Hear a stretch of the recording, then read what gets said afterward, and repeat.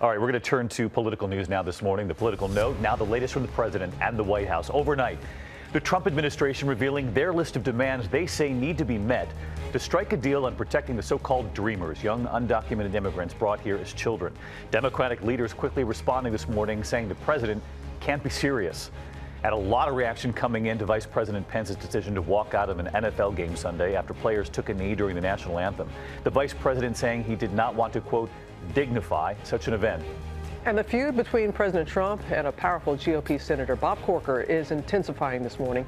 Senator Corker telling the New York Times that Trump's reckless threats could be putting the U.S., quote, on the path to World War III. Our senior White House correspondent, Cecilia Vega, is in Washington with the latest on all of this. Good morning, Cecilia. Robin, good morning to you. This is a stunning war of words. A senior Republican senator going after the president, bashing him publicly in ways even few Democrats do. It is an extraordinary public rebuke of a sitting president by a member of his own party.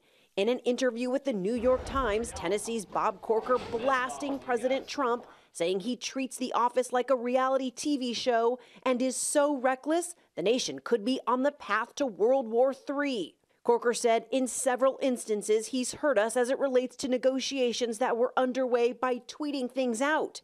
And the hits did not end there. Corker said it takes a tremendous amount of work by people around the president to keep him in the middle of the road and that, quote, I know for a fact that every single day at the White House, it's a situation of trying to contain him.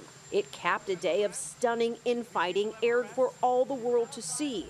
After Corker made this jab last week, Secretary Tillerson, Secretary Mattis, and uh, Chief of Staff Kelly are those people that help separate our country from chaos.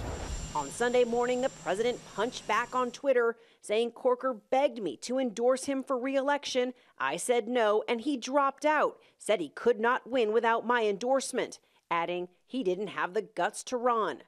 Corker disputed those claims and fired uh, back, uh, tweeting, It's a shame the White House has become an adult daycare center. Someone obviously missed their shift this morning. And Corker says he's not alone, telling the New York Times nearly every Republican in the Senate shares his concerns about the president. And Cecilia, on that note, Corker had another quote that's really raising a lot of eyebrows from that article. He said, I don't know why the president tweets out things that are not true. You know he does it. Everyone knows he does it, but he does. Again, this is a member of his own party. Yeah, I mean, he's essentially calling the president a liar there. And Corker is a vital vote for President Trump. He sits on the Senate Budget Committee, he chairs the Foreign Relations Committee. President Trump is going to need him on things, Robin and David, like Iran and tax reform. But this is just a stunning, stunning turn of events. It is. And in the meantime, Cecilia, as we watch this back and forth with Bob Corker play out, a fellow Republican, we're following another uh, major political headline this morning involving immigration and the Dreamers, the 800,000 undocumented uh, immigrants. They were children brought here by their parents parents. We remember that dinner, Cecilia, you reported on it. The president, Chuck Schumer, Nancy Pelosi, the Democratic leaders came out saying major progress on the Dreamers without tying it to the wall. That doesn't appear to be the case anymore. Yeah, exactly. It sounds like President Trump is attaching conditions to this deal to allow uh, DACA recipients to stay in this country. He wants funding for a border wall. He wants a tougher legal immigration system in this country. The response, you said it, David, from Chuck and Nancy, as, the, as, it, as uh, he calls them, this administration can't be serious. All right. Cecilia Vega with a lot going on at the White House this morning.